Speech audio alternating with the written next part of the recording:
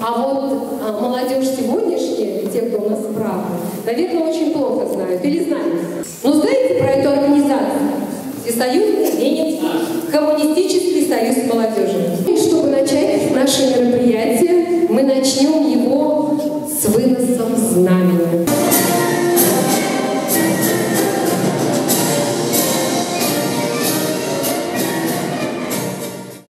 Это знамя будет сегодня, а на протяжении всего нашего вечера. Первый Всероссийский съезд Союзов рабочей и крестьянской молодежи проходил в Москве с 29 октября по 4 ноября 1918 года. Съезд провозгласил создание Российского коммунистического союза молодежи. Целью союза было распространение идей коммунизма и вовлечение рабочей и крестьянской молодежи в активное строительство Советской России. У каждого поколения комсомольцев был свой Днепрогресс, своя магнитка, свой Сталинград. Страна ставила молодежи великие цели, давала возможности сделать свой личный вклад в дело строительства социализма и самому увидеть дело своих рук, почувствовать себя победителем. Это рождало величайший энтузиазм. Они были счастливыми людьми. Они каждый день сказку делали были,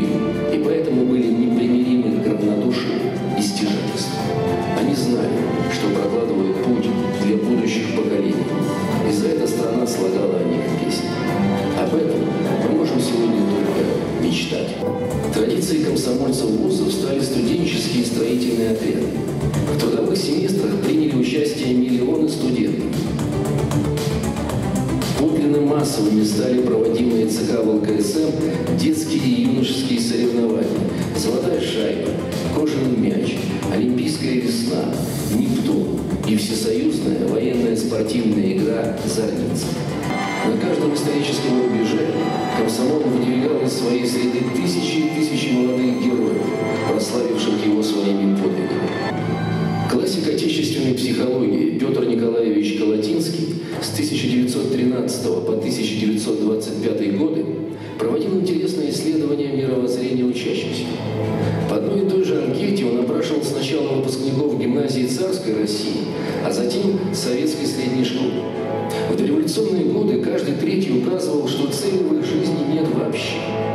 В 60-е годы ученые и педагоги повторили исследования по программе Колотинского. Оказалось, что в ответах выпускников школ почти не было пессимистических нот. Современная молодежь словно вернулась в дореволюционные времена. Большинство тех, кому 18-35 лет, скептически оценивают свои перспективы в родном отечестве. Капитализму враждебны коллективизм и подлинная социальная ответственность. Эгоистический индивидуализм – вот идеал личности для этой системы.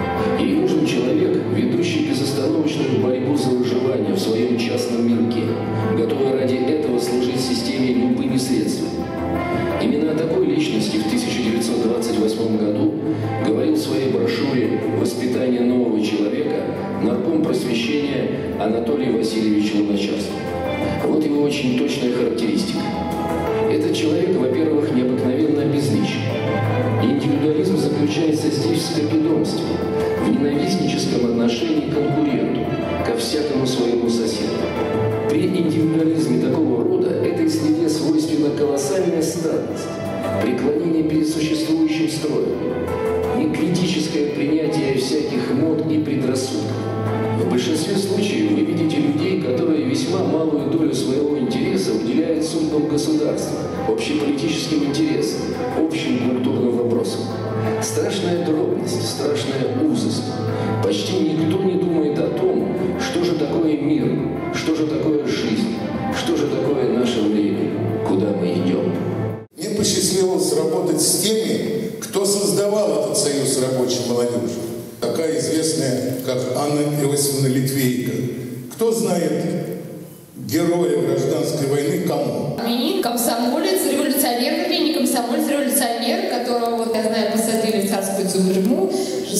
пытали. Была секретарем у него. И она выступала вместе с ним в тех боях, которые принимал сам коммун. Он приехал учиться, но вместо учебы его избрали первым секретарем Краснопресненского райкома, фамилия его Агаржанов. Провели собрание, им представили педагога Кливенс Гертруда Яковлевна. Они грызли английский язык так же, как они штурмовали в 17 году зимний. Он был приглашен на ком путей сообщения, и его назначили начальником департамента науки, образования и кадров. От всех нас поздравить с днем рождения нашего одного члена президиума Александра Ивановича Бочкарева. У него сегодня день рождения. У комсомола своя хозяйственная деятельность, издательство «Молодая гвардия», газета «Комсомольская правда», то на место этих ценностей приходит то, что впихивается в сознание самыми хитроумными способами. И прежде всего это потребительский дух. Они бесплатно учились не только в школе, но и в институте. В Советском Союзе святым было понятие уважения к человеку. Я работал председателем комитета молодежных организаций СССР. Это такой человек, который является, по сути, как комсомола, но которого политическая роль была замаскирована вот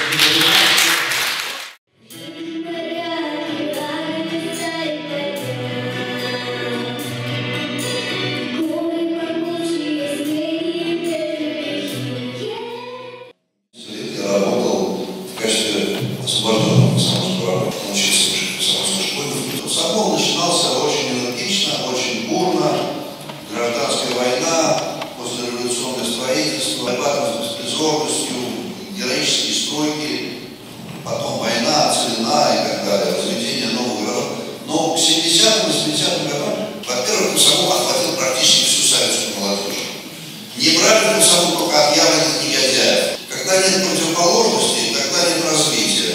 Э, Когда все думают одинаково, и все исповедуют одинаковую идеологию, исчезает борьба, не с кем бороться. Хорошие борются с еще более лучшим. И поэтому э, наступает скука. И вот в этот период я застал комсомол. Мы провожали молодежь на комсомольской стройке. Вот последнее гигантское дело, это было строительство Байкала-Амурской магистрали. И они создали там города, и это счастливые люди. Время.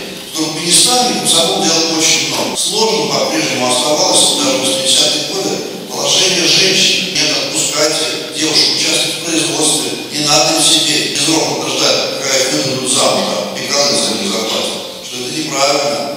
Потом, значит, была проблема, потом про нее распустили слух, что она уже не девственница, потом она, значит, там, пила уксус или обливала себя бензином и поджигала. Кроме комсомола, в отделе агитации, где я работал, была у нас такая Моралова Мамедова, она по поступившим сигналам, что где-то, возможно, готовится самоубийство, такое самосожжение, выезжала, а, беседовала с этой девушкой из глухого там кишлака, аула и говорила, что не надо, не надо ничего с собой делать.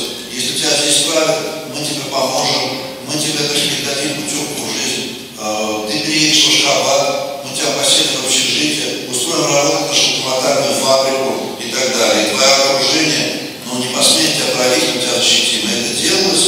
И только ради одного этого можно сказать, что существование комсомола было оправдано. Потому что, так сказать, многим людям это... Есть хорошая книжка достаточно о формализме комсомола Юрия Полякова, чем параллельного масштаба. Но снятый по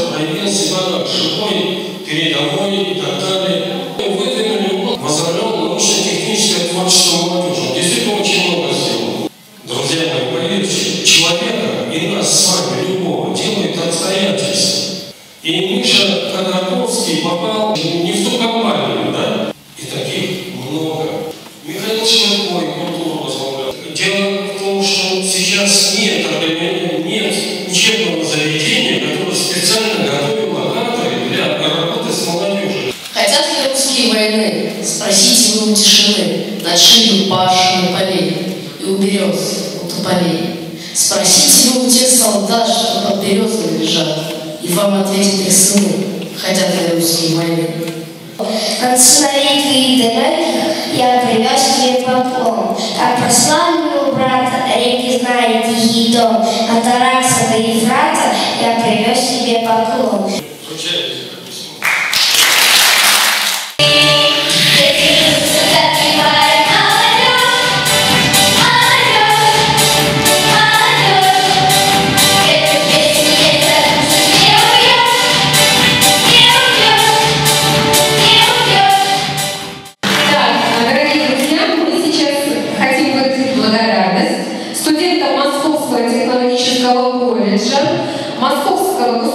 университета пищевых производств за активное участие в мероприятии, посвященном Дню комсомола. В нашей организации мы помогаем студентам из Туркменистана, которые попали в очень тяжелую ситуацию во время пандемии. Я думаю, что ему больше 25 лет Таджикскому культурному центру московскому. когда советская власть когда и образование появилось, по сути, в Узбекистане, и культура расцвела в Узбекистане. Но я не об смыслам, которые были в фильме. Добрый день, дорогие друзья. Спасибо большое организаторам за приглашение, потому что комсомол для меня сыграл большую роль в моей жизни. И я очень рада, что вот в Москве сегодня мы проводим такой прекрасный праздник. Я столетие комсомола тоже здесь была. Школа профсоюзов, она тоже нас воспитала. Да, я хочу дать сейчас слово. Кто из вас знает о декабристском движении? Знаете, кто такие декабристы? Да? к нам вы можете прийти. Вот. И я хотела уточнить, вот многие декабристы были сосланы в себе свои убеждения, но они там проявили самые свои лучшие качества. Они образовывали школы, они учили каким-то ремеслам населению и оставили о себе уникальную память. Пионерская организация имени